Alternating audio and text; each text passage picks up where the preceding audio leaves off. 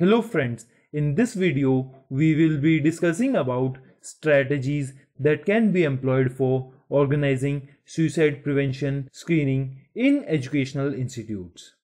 First, let's understand why student screening programs must be organized in educational campuses. Screening of students for suicide prevention and problems associated with it is easier in educational institutes than any other place in any community. Student screening can be done at wider level if planned creatively in institutes.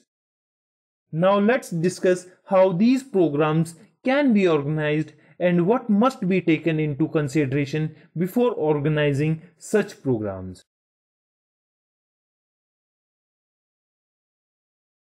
In educational institutes, screening can be done on various occasions without extra and independent arrangement of screening of students. The example of these occasions can be mental health week celebrations, special days celebrated in various countries, college festivals, etc. Screening can also be done on various events when student gathering is more.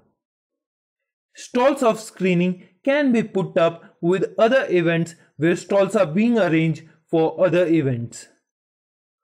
Screening can also be done with medical camps.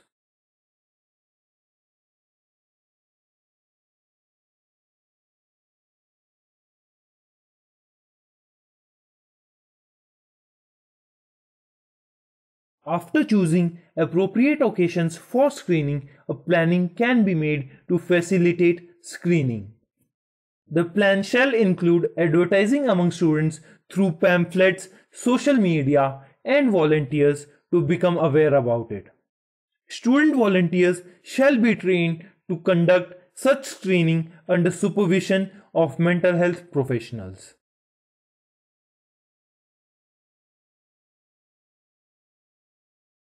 Screening may result in identification of at-risk students or students showing mental health concerns.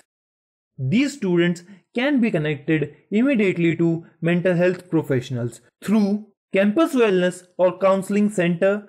If campus services are not available, then student can be referred to outside mental health professionals through referral services.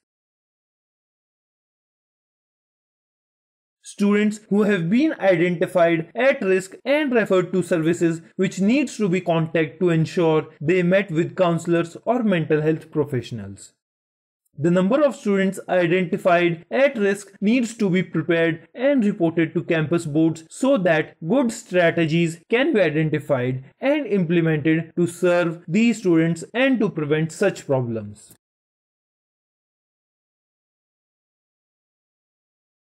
Thank you friends for being with us throughout the video. We hope that you will utilize the strategies discussed in this video for promotion of suicide screening in your campus.